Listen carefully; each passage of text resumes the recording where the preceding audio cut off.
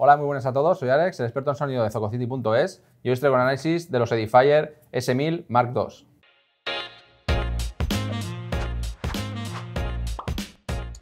Como podéis ver en el canal ya tenemos disponibles los análisis tanto del S2000 Mark III como del S3000 Pro y en esta ocasión cerramos lo que es la gama de profesional de Edifier con el análisis del S1000 Mark II. De esta forma eh, tenemos al completo todas las reviews o análisis de estos modelos que se diferencian de la gama de entrada de Edifier por darnos un sonido ya de gama profesional con mucho más detalle y una mayor conectividad con la que disfrutar de nuestra música a la máxima resolución allá donde estemos.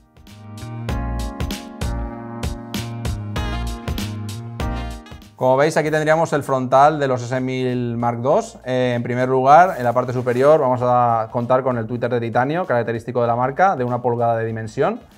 Y en la parte un poquito más inferior tendríamos el buffer. Eh, tenemos ya un buffer grande de 5 pulgadas y media que nos va a dar un grave contundente pero a la vez controlado.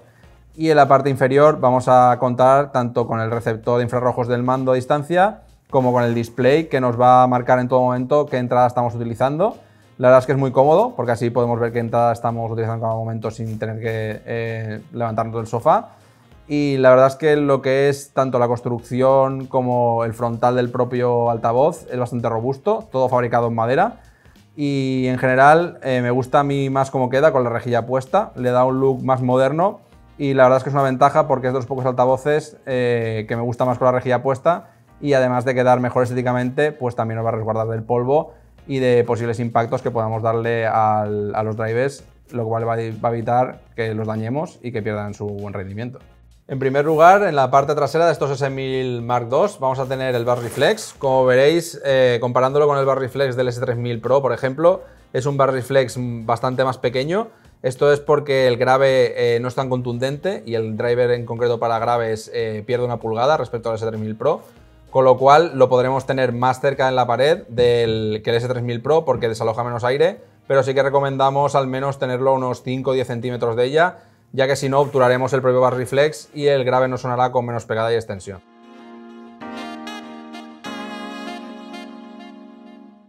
En la zona más inferior de la parte trasera vamos a contar tanto con los diales de volumen y ecualización como las entradas del propio dispositivo. En concreto vamos a tener eh, dos pares de entradas analógicas, una digital por fibra óptica, otra digital por coaxial y en la parte más baja tendremos también eh, la conexión con el otro altavoz que se hace con un cable eh, ya incluido en la caja evidentemente de 5 pines. Tendremos también a la parte izquierda eh, todos los controles de volumen y ecualización. Este en concreto será el control de volumen y si hacemos clic en él cambiaremos la fuente de entrada. Tendremos también el selector de agudo y más abajo tendremos también el selector de grave. A mí en concreto de agudos, como viene de serie, mm, me gusta bastante, lo dejo normalmente neutral. Y en tema de graves, eh, sobre todo si vamos a ver cine o incluso géneros que tengan una pegada buena en grave, yo siempre le subo un poquito, normalmente unos 3-4 decibelios en este modelo, eh, le sienta muy bien. Y para géneros más tranquilos, por así decirlo, eh, como la clásica o música más instrumental, lo suelo dejar de serie y también luego en su parte más baja tendremos también el botón de encendido y apagado y el propio cable de alimentación con el que lo conectaremos a la luz. Aquí tendremos el nuevo mando que viene incluido con el S1000 Mark II. Eh, difiere sobre todo del S2000 Mark III y del S3000 en que no vamos a tener acceso directo a las ecualizaciones, que sí lo teníamos con, con el anterior mando. Esto la verdad es que es un inconveniente, pero como vamos a poder ecualizarlo manualmente desde la zona trasera, lo vamos a poder igual hacer manualmente. En concreto vamos a tener el botón de encendido y apagado en la parte superior, tendremos también botón de mute, tendremos también botones para seleccionar las entradas, tanto Bluetooth, las dos de línea como las digitales, óptica y coaxial, y en la parte central vamos a tener todo lo relativo a la reproducción, el botón de volumen menos y volumen más, canción adelante y canción atrás, y el botón de play y pausa, Así que como veis lo tenemos todo a la mano, si estamos tranquilamente sentados en nuestro sofá vamos a poder operar todo el altavoz sin necesidad de levantarnos de forma muy cómoda.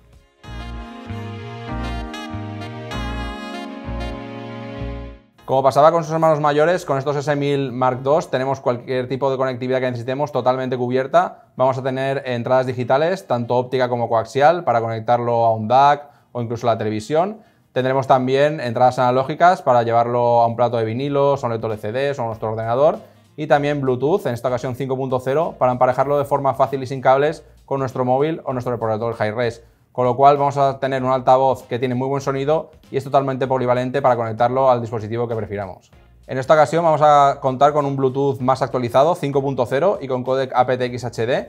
Y de esta forma lo vamos a poder emparejar fácilmente con nuestro móvil o nuestro reproductor hi-res y vamos a poder disfrutar de nuestra música a alta resolución, prácticamente sin compresión y sin ningún tipo de cableado de forma muy cómoda. En cuanto a potencia, estos S1000 Mark II nos ofrecen 25 vatios para los tweeters y 35 vatios para el buffer. En total tendríamos 60 vatios por canal. Eh, y esto nos va a permitir llenar salas medianas y pequeñas, eh, en torno quizás unos 30 metros cuadrados como máximo, de música. Eh, van a sonar muy bien, tienen una escena bastante amplia y un perfil bastante equilibrado para disfrutar de toda nuestra música.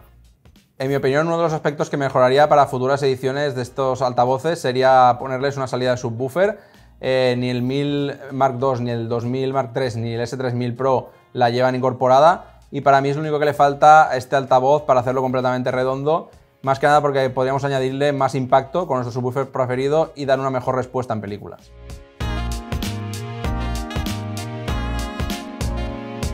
Comparándolos con los anteriores S1000DB, estos S1000 Mark II nos van a dar un perfil más equilibrado, no tienen tanto énfasis en grave, vamos a perder un poquito de grave, pero lo vamos a ganar sobre todo en escena y en agudo, eh, tanto en cantidad de agudo como en la definición del mismo, y vamos a contar con una escena más tridimensional que posiciona mejor los instrumentos, rinde mejor con géneros como la clásica e incluso nos lo hace aptos para labores de masterización o edición.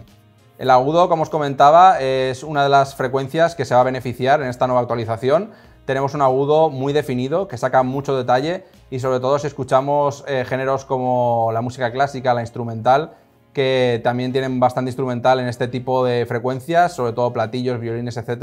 los vamos a notar mucho más definidos, mucho más cercanos y con muchísimo más detalle. En cuanto a los medios de estos S1000 Mark II, vamos a tener unos medios que rinden a muy buen nivel, como ya lo hacían en el S1000DB, tenemos unos medios que están muy adelantados, definen muy bien, tanto voces como instrumental, tanto guitarras, piano, cualquier rango de instrumental que se mueva en los medios, lo vamos a percibir muy cercano, con una muy buena definición, y esto los hace también muy polivalentes con muchos géneros diferentes de música. En cuanto al grave de estos Edifier, vamos a tener un grave que la verdad es que es contundente en pegada, y un grave que la verdad es que transiciona bastante bien al subgrave y los hace bastante rápidos, pero sí que vamos a perder en cantidad, sobre todo viniendo del S1000DB, es un grave que es menor en cantidad, sobre todo no lo hace tan polivalente con géneros como la electrónica, el hip hop o el metal, esos géneros que siempre, la verdad es que tener una pegada un poquito más contundente aún de grave nos viene muy bien, pero como os comento, esto hace que sea un grave que es menor en cantidad, pero es más rápido, con lo cual en géneros como el rock o el punk, que vamos a tener un golpe en la batería bastante rápido, sigue mejor el ritmo, nos da una buena definición y en general es muy disfrutable con casi cualquier género musical.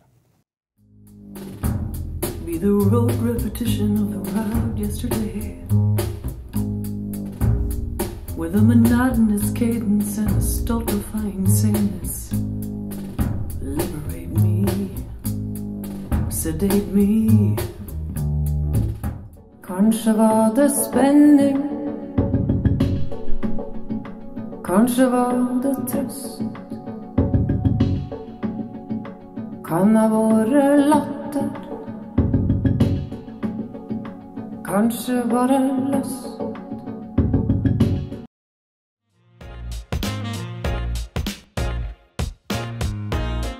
En conclusión, y comparándolos con los anteriores S1000DB, vamos a tener unos altavoces que nos dan un perfil de sonido más equilibrado y sobre todo también una escena eh, más fidedigna que posiciona mejor los instrumentos y da un efecto 3D más realista, eh, con lo cual los hacen más polivalentes para diferentes géneros musicales que antes no brillaban tanto eh, en los S1000DB, como puede ser la clásica, el instrumental o las bandas sonoras, pero los hacen menos aptos para géneros, digamos, más bass heavy, como podría ser el metal, la electrónica o el hip hop, en general es un altavoz que rinde muy bien tanto para escuchar vuestra música, diferentes géneros musicales en concreto, como si realizáis con ellos eh, labores de masterización o edición musical. Pues nada, hasta aquí el vídeo de hoy. Ya sabéis que si tenéis cualquier duda o consulta podéis contactarnos en nuestro teléfono de atención al cliente y yo mismo me encargaré de atenderos. Un saludo y hasta el próximo vídeo.